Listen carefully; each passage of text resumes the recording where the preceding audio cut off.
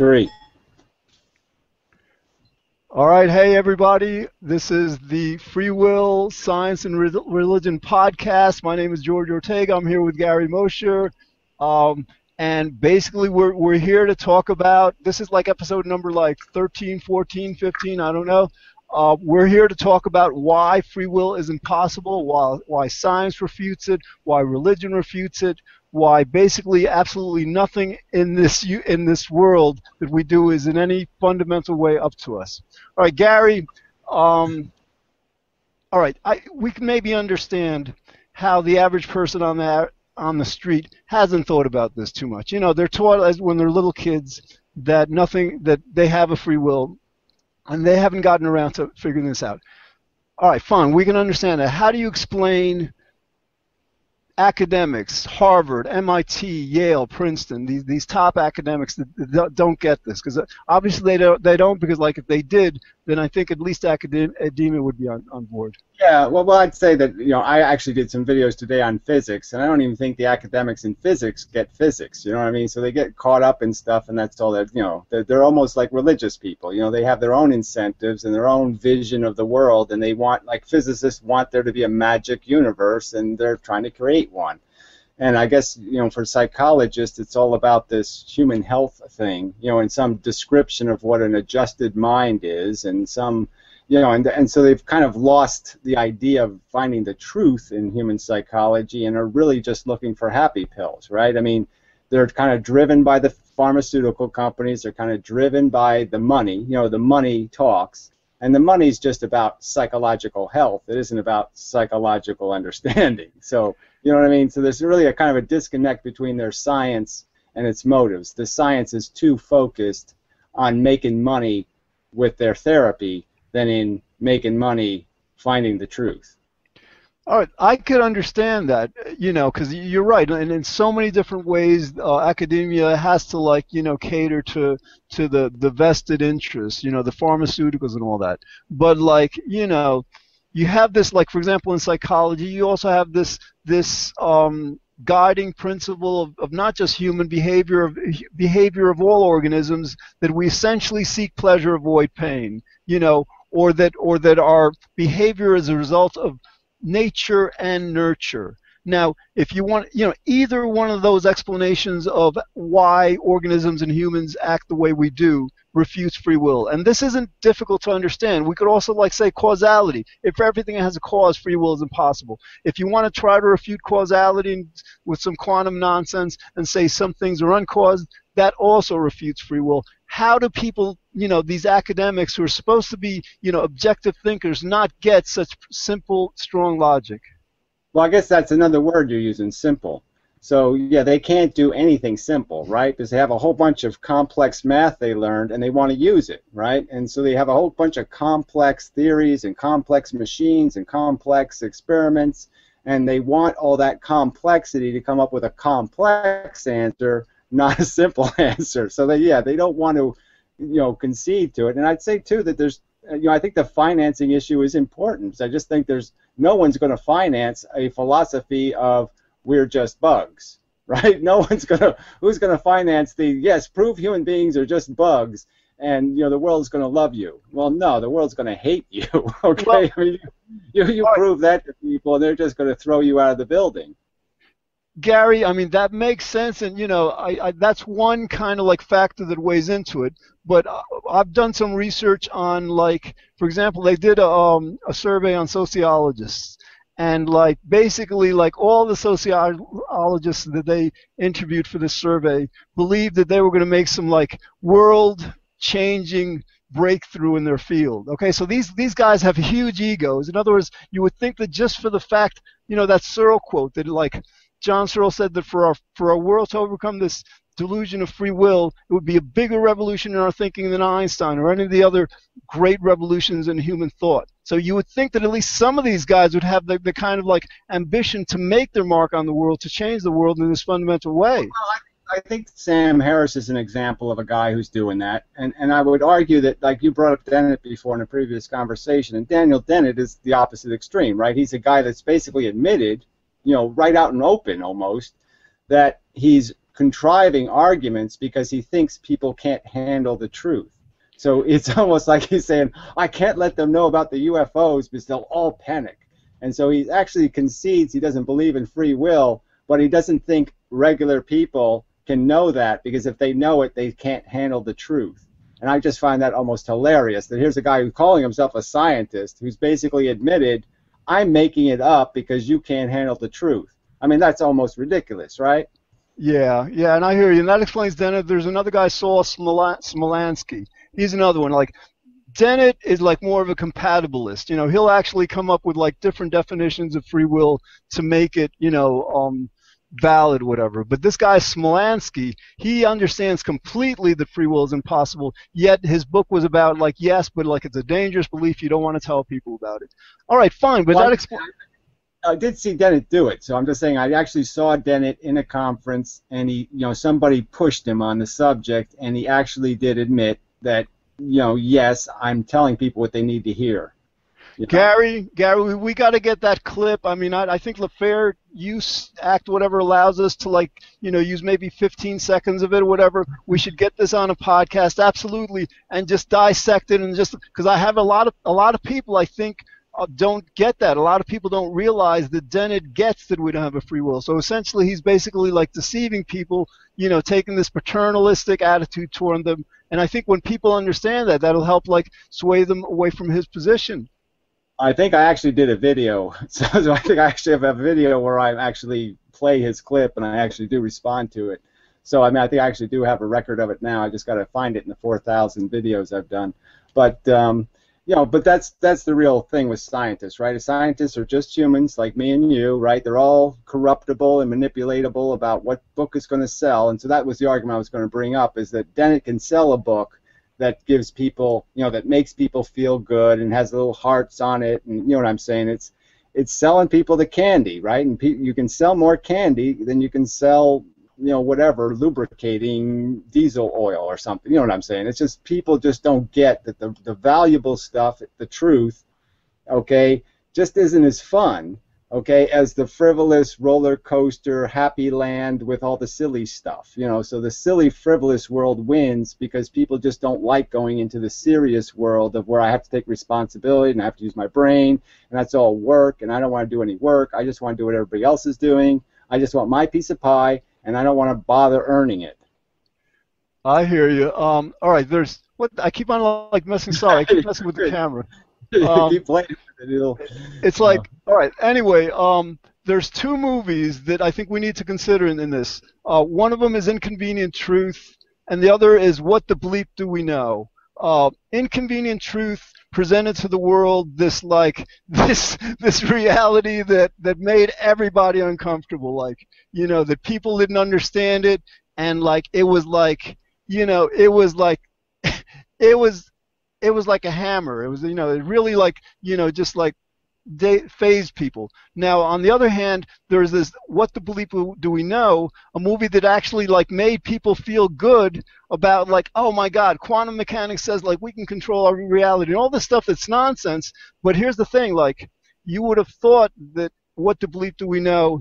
would actually have um, done better at the box office, but as it turns out, "What the Bleep Do We Know?" earned about $15 million gross in box office receipts, whereas Inconvenient Truth earned about 50 million. So like, so yeah, I think well, like. I was going to argue though that Inconvenient Truth had the advantage of Al Gore and a lot of controversy and a lot of press, so I think it got a lot more press, and it just happens to be a fantastic title, right? I mean, it's just the kick-ass title of the century, Inconvenient Truth. I mean, you just can't have a better title, right? I mean, that's just too good. Absolutely, but like you know, imagine like somebody. I mean, like, all right, here, here's this is something um, I've been working on. There have got to be like some um, multimillionaires, people you know who are worth at least two, three, you know, several hundred million dollars or, or a few billion. Okay, now these people have made their their money. They've made as much money, more money than they intended to make. So like that's something that they they don't they don't need to like um that that's that's something that's an accomplished goal. But these guys have like big egos and they want to make their mark on the world. So like the idea is like you appeal to one of these guys, you pitch one of these guys and say, listen, Um, this guy, John Searle, the 13th most quoted philosopher post 1900 in the Stanford Encyclopedia of Philosophy, says for our world to understand the free will is an illusion would be the biggest revolution in human thought ever, bigger than Einstein and all. All right, you pitch this to one of these guys. Now, a documentary like Inconvenient Truth, it costs, let's say, one, two billion million dollars.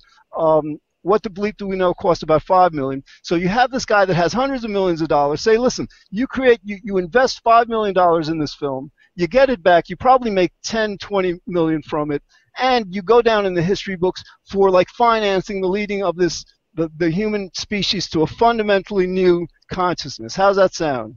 Oh, it sounds like a wonderful fairy tale. You know, I was just waiting for the three bears, and you know, because obviously, obviously, I would argue that people that are really rich have no conscience and they have no soul and they're just evil, nasty takers. and so they'll never understand the idea of giving anything. So yeah, I, I, just I don't think they can understand the, the mechanics of it because if they did, they would be riddled with guilt right now. You know, they'd be saying, why am I wasting all this money when people are starving? They're actually starving.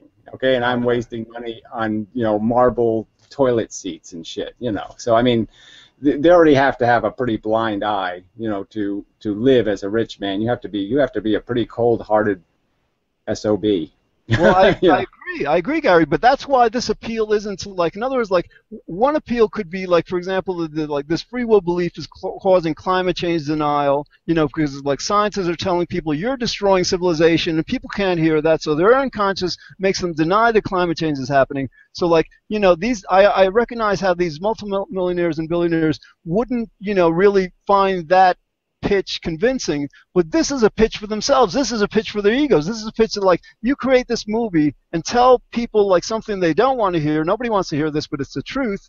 And you got you, you know all of a sudden. I you understand, but I'm just saying they could also just buy Survivor stock, or they could buy American Idol, and so yeah, they'll they'll just figure I can sell schlock and make even more money. So I, I just mean that I'm, I'm not disagreeing with you that if if they had a, if I had money right? I'd be using it to change the world. I wouldn't be marble in my toilet seat. So I get you. I'm just saying the reason why they don't get it is because they're not they're them and they're not me. you know, uh, you know.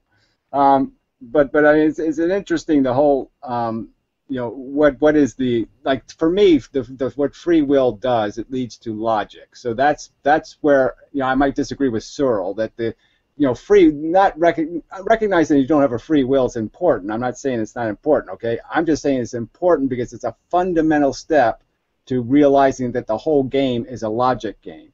That we really are here to obey the evidence, okay? When, and it's just totally illogical not to. And this idea of a free something gives you a, a independence from even logic. And I'm saying, no, logic is the game, the evidence is the game.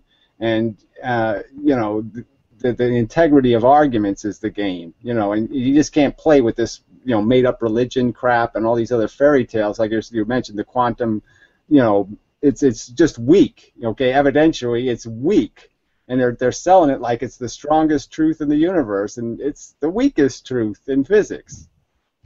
All right. Well, all right. So, so like we were talking before about like the psychologists aren't going to get this because they want to paint kind of like a, a picture of like a a well-adjusted person and and the physicists don't get this because they really don't understand what they're studying. They might be able to remember it and implement it but they have no they're clueless. So like basically what discipline in academia? Because i you know i think darwin for example when darwin you know, proposed evolution i don't think he proposed it to the to the average guy you know like i think he initially stu- he got his colleagues in in in um what was his field? I don't even know what his field was. But anyway, he got that's that's he was a naturalist. But but you know, Darwin is a good case study of you know how things get kind of distorted because it was Darwin's grandfather who believed in evolution, right? So Darwin's grandfather was a huge advocate for evolution. Uh, he just didn't have the evidence, right? And so what happened is the grandson essentially found the evidence. You know, so Darwin wasn't even convinced of evolution. He just thought it's a wacky theory my grandfather has and then he gets to Galapagos, and all of a sudden he's saying, "Hey, maybe Gramps was right, and this all looks like, uh, you know, it's pointing in this direction that, yeah, this is where we were a million years ago, you know." And so that's sort of an irony that Darwin didn't really make the theory of evolution. What he did was compile the argument, a decisive slam dunk argument, And that's where I'm back to logic again. You know, he gave you the reason to believe it. You know what I mean? He gave you the evidence to believe it. Well, yeah, all right. So then we got to understand. So, like, how was he able to succeed? Because, like, evolution, I mean, like, it may be a very solid argument, but it's not a simple argument. In other words, like, there's complexities, there's genetics, there's like Mendel's peas and all that stuff. But like with with cause and with free will, you know, causality well, refutes that's, it. That's exactly what I'm getting to. We, me and you, don't even need much evidence, right? I just need a speck of evidence for free will because I already see it in myself. You know what I'm saying? I don't even need to go to a book or a scientist, or I don't need any facts and figures to be able to do when I was 10 years old. That the shit, any shitty shit I do is shit inside of me. You know what I mean? Any good stuff I do is good stuff inside of me, and that, that's all it is. I don't magically go to the universe and say, make me do something. I go right inside my eyeballs and say, what did I just do and why did I do it? And I knew it. There was a there was an answer. You know what I mean? I knew there wasn't no mystery. It was it was a reason I did it, and it was a calculated reason, and so I didn't need much evidence, right? I didn't need much philosophical theory to understand the concept that I was a machine. I knew at 11 years old I was a machine. And that's what I'm saying. An 11 year old can understand this. In other words, like, you know, basically, like, our understanding is everything has a cause. You ask pretty much anyone, you know, like especially non-scientists, does everything have a cause? And you know, because I've asked this, I've, I've I've led like dozens of, of meetups in Manhattan, and you people come and you know, you ask this question, and they say yes, everything has a cause. It has a cause. You know, you make a decision, it's going to have a cause, and there's going to be a cause to that cause, and a cause to that cause, and a cause to that cause, and these causes regress back to before you were born, and that's why free will is impossible they don't get this. You know, or fine, I can understand how like you know the layperson may not get it. I, I don't understand it, but like you know, again, my question is like if, if psychologists have like kind of like this motivated reasoning not to get this, if philosophers philosophers, I don't think they, they, they just don't know how to think. I, I don't know I don't know what their problem is. My question well, is I, like, I, I what they're getting there though. Okay, I'd say like people like Sam Harris do give you some hope. Okay, because Sam Harris is a pretty thoughtful thinker on all these subjects. He's, you know, even when he's even when I think he's wrong, you know what I'm saying? He's not making garbage arguments. He's making pretty thoughtful arguments to take a lot of it takes a lot of work to unravel them, so to speak. You know what I mean? It's not a simple failure; it's a complex failure. You know, it's a it's a failure in complexity, not a failure in some simple idea. Where I'd say a lot of these guys are just failing simply, like Dennett's assumption that we can't live without God, essentially. Right? We can live without God. Trust me. Yeah. You know, and, and and and so so it's that kind of thing. I think a lot of these scientists are just kind of stuck in like, and like I say, they're just too academic too. You know what I mean? They're just too specialized, so they don't think it's the forest and the trees, right? They know the trees, but they don't understand the forest at all. You know, they got no clue when it comes to forest.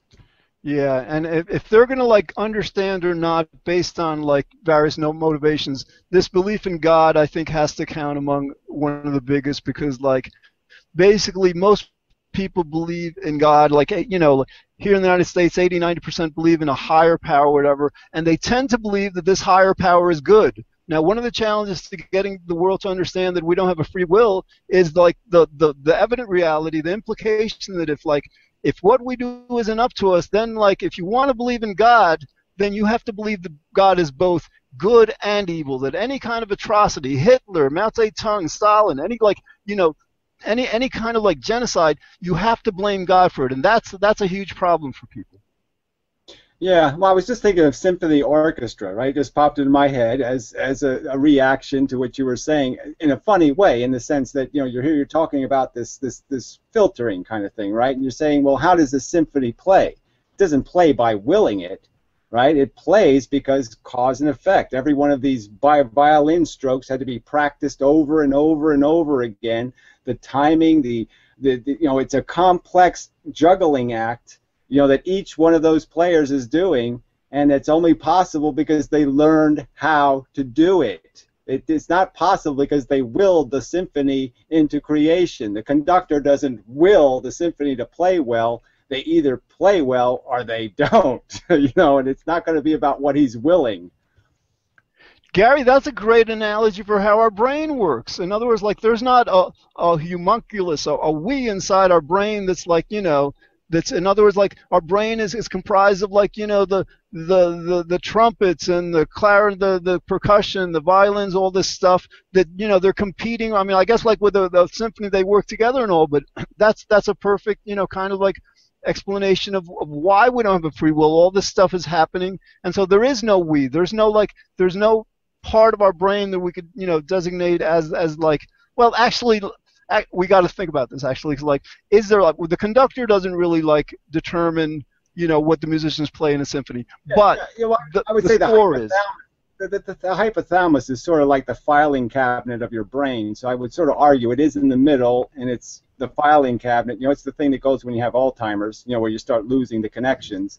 So I would argue that I think it probably has something to do with all the crap coming in, and it decides what crap's going to go out. So you know, that would be my deduction you know, in a, in a sketch. You know, I'm doing a sketch of the brain, and that would be my sketch drawing. Is that's where the consciousness really happens? Is right there in the middle.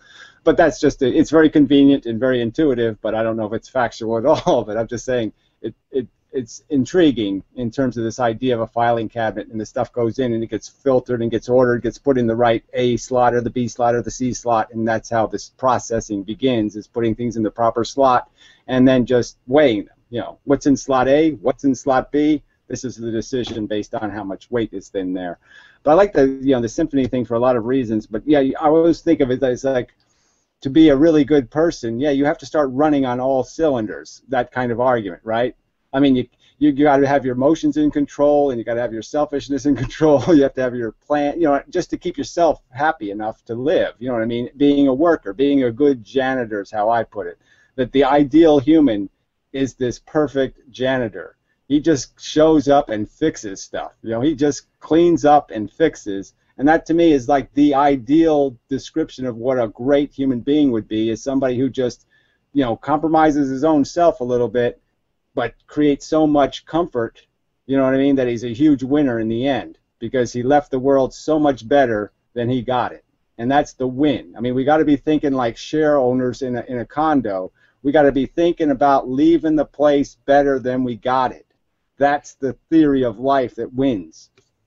I agree, and I think what the reason it's difficult for us is because, like, let's say a thousand, two thousand years ago, that wasn't in the mindset of people. People didn't have like a, a mass media that that ha- let them know that like a billion people are living under, you know, a dollar a day, and that like you know, um, 10 million kids under age of five are dying every year of malnutrition and all that. So people didn't. So like we we have access to a lot more knowledge, and people aren't, you know we're not. It's not like we're not. The luxury of time to think too, right? I mean, I don't have to go out and chase down some food. I don't have to go pick berries all day. I don't have, to, you know what I mean? I don't have the labors of a brutal life, you know, the fetters of a brutal life to keep me swatting those bugs all the time. You know what I mean? So I have time to be a little reflective and think about what I'm doing. Um, where yeah, people thousands of years ago didn't really weren't given much opportunity to think about living. They had to do it. You know, they had, they were busy living. They didn't have time to think about living. I hear you. So like I think the ideal you're right. You're completely right. The ideal is for people to like to think about this, get it right, promote it because it's the right thing to do because it, it would help the world. It would help the world evolve to a to a more intelligent world. But but we have to acknowledge that people are not like that. People, you know, people are like, you know, motivated too much by self-interest but you know we can use that. In other words like in terms of happiness you were talking about happiness before. One of the four personality traits that's most correlated with happiness is self-esteem.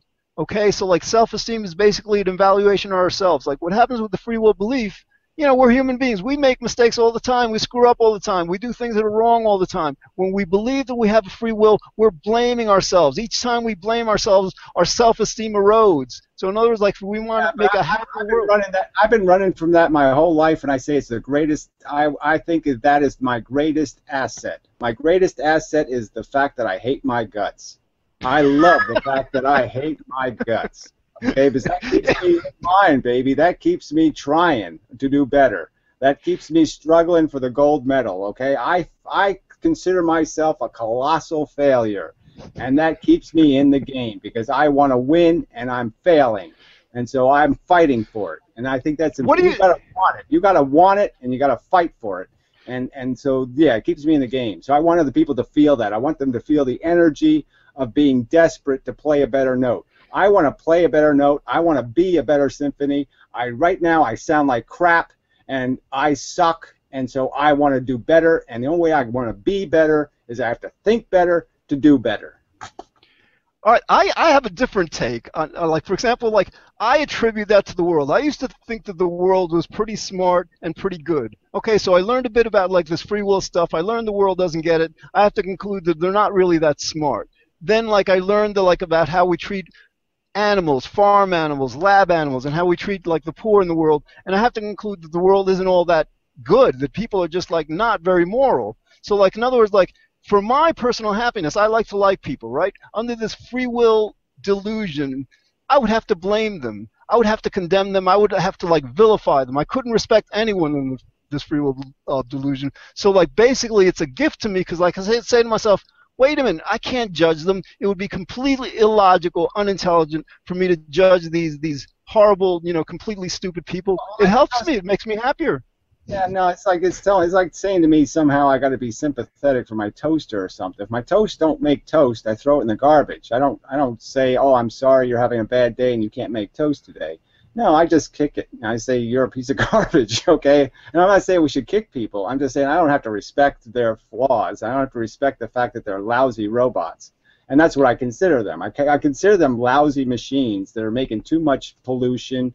They're they're making too much noise they're sloppy, dysfunctional pieces of crap, and I'm going to call them that. I'm not going to say, gee, I want to be your friend and you're just such a super person. No, I'm going to say, you're a piece of crap, I'm a piece of crap. I'm going to try to be a better piece of crap than you, so try to be better than me. All right, Gary, I agree with you. I think you have to be direct. You have to, like, with climate change, you have to confront people say listen you what we're doing is horrible but from psychology i know that like you know you have to kind of like make your message somewhat like acceptable. In other words, if you tell people stuff like that, they go into denial. They can't hear it, they won't hear it. But if you tell them, listen, you're a piece of crap, but don't blame yourself because it's not your fault, you know, it's in your genes or in your upbringing, maybe they can accept your message better. I'll give them the right to be a jerk if they admit they're a jerk first, okay? I'll, I'll give you full jerk rights. Just admit that you're a jerk, okay? Don't lie to me. Don't pretend you're, you know, you're, you're a taker, you're a Pac-Man, don't pretend you're giving the world a gift by Pac-Manning the pieces out of it. So yeah, don't don't lie to me that you're a great asset to the human race when you know you're just a consuming maggot. So admit you're a consuming maggot. Admit you got to do better. And I don't even care if you don't do better. I'm just saying admit that you need to do better. If you don't think you need to do better, if you don't think the world needs to be better, you fail colossally by my definition. That is the most colossal error you can make is not to recognize Houston, we got a problem, damn it, and we got to do something about it. I hear. Well, actually, Gary, according to that perspective, I think Christians would be a good sell for that approach because, like, you know, the Christian philosophy of human beings is like we're quote unquote miserable sinners. You know, this original sin, we're just like we're we're you know that's why we need whatever we need with Jesus and all that stuff. You know, so I think that's that's an audience. God was still saying we deserved heaven just for barely being decent. You know what I'm saying? You didn't have to be a very good person to get into heaven. You just had to not kill stuff, not rape. Well, you could get away with some rape, right? I mean, I mean, what was as allowed in the Bible? You, it's a pretty, yeah, a pretty miserable, a pretty miserable human being that's allowed into heaven, right? I mean, all you got to do is say a few things on your deathbed, and it's all okay, right? Now, nope, no, no, no, no harm, no foul. You know, you said the magic words, voodoo, poodoo, and you get in. I mean, that's kind of a, you know, I'm just saying that the Christian expectation of good character, that's again so bad. It's such a fail that I'm just like, come on, if that's if that's your definition of a good person, you're not even coming close, fellas. No, I hear you. I mean, they condone slavery. I know, I know. Um, but you know, so like you know, one of one of the things we have to um, approach is this this this you know the, the Christian need to kind of like believe in God and all that stuff, and like this, you know, but we we basically have to find a message that's going to like get them to like say, listen, you know, you can hold on to your beliefs, these these fannies and all, or you can, you know, and if you do that, the world is going to collapse with climate change and all, or you can outgrow that stuff, overcome it through logic, and understand the truth of, of what the world is about, and then maybe our uh, kids in, in the future has a chance. Yeah, no, but it's all that understanding word, and I, you know, part of the understanding is understanding how you understand, and you don't get to understand for free. You can't understand evolution by not reading the book. Okay, you can't understand you know psychology without doing a little bit of research, a little bit of reading and writing and all that kind of. You know what I'm saying? It's like people want it too easy, and full understanding is not going to be that easy. Okay, it's a simple diagram, life on Earth, right? This this biological mechanism, this reproducing molecule, but the dynamics are subtly different. Like we could talk about reproduction, the fact that whether what do we desire? Do we desire to have kids or do we desire to have sex? and you know, I would argue, obviously, we desire to have sex, and the kids is just an accident of the the, the, the activity. You know, but that's one of these things that, that can be a complex subject to somebody. I would say the dynamic is simple, but the psychology is complex. And I hear you, Gary. Don't, don't want to do the work. I hear you, Gary. We're out of time. This has been a great show. I think next time we talk, let's let's focus on this causality factor. We like basically if causality was make free, free will impossible, and if logic is going to be our tool to help the world understand this, we've got to get get them to understand causality. To understand the the eddy in the stream, right? Absolutely. okay, everybody. Okay. Thanks. Good show.